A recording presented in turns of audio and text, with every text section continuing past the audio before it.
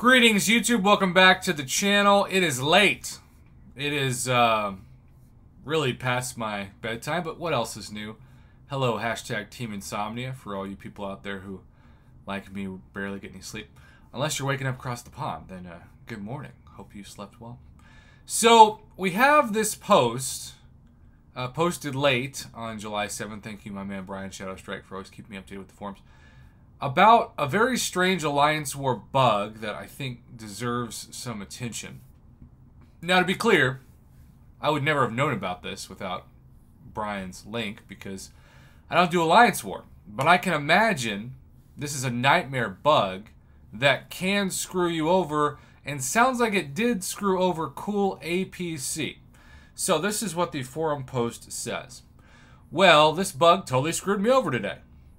In the past, when you click on the logo with the star on the right side of the screen, either on the character selection page or when you are spectating the defense, it would tell you the champions the other alliance has banned. Instead, it now shows your bans. I own two accounts in the same alliance, and I plan my pass around champions that I don't have access to. And since I already joined on the first account, I am totally screwed on the other account because the champion I needed is banned even though it didn't display as such. The only place it seems to show the correct bans is when you actually go to edit your team and you can see who's crossed out. This is so messed up and such a disappointing start to the season. So nightmare start to the Alliance War season for those of you affected, and who knows, maybe it's a small percentage of people, but part of why I do these videos, it's not for clicks, it's not for revenue, it's for other people who maybe have seen the same thing thinking, oh, it's not just me. You know, if one person out there gets that from this video, totally worth the time to make it. Uh, Kabam Zimmit said, hey there, would you be able to share a screenshot of what you're seeing? I'd like to pass it along to the rest of the team. And he sends a screenshot here with a finger on the screen. That is next level. And then no attack tactic selected. Tap to make a choice. In the past, clicking in these places shows you the attackers the other alliance has banned. Now they show the ones you have banned. Why do I care what attackers I have banned when I am selecting my own attackers? This is what caused me to mess up and join the wrong with the wrong team, assuming I had options I did not on my other account.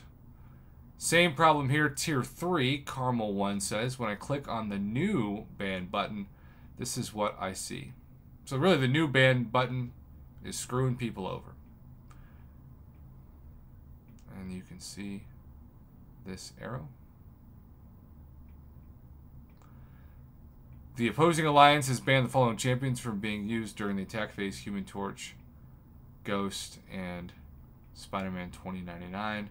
Before I joined, I click on the ban button after spectate the map and saw that. By the way, it's been so long since I've done the Alliance War part of the game. I didn't even know you could ban champions. I look and read this like, oh, it's kind of smart. Does this make me want to do Alliance War? Of course not. I, I kind of enjoy the bans on Battlegrounds too, though. As weird as that sounds. Ban attackers Quake, Human Torch, and Ghost, and you can see the arrow to the right. Now, after I joined, clicking on the same button shows that. None. Not sure if it's because I joined or because something changed on your side. So, as always, these videos are important because if one or two people are having the same problem, chances are more than that are actually experiencing it, even if it didn't make its way to the forums. So I would love to hear the feedback from you all regarding what you're seeing on this.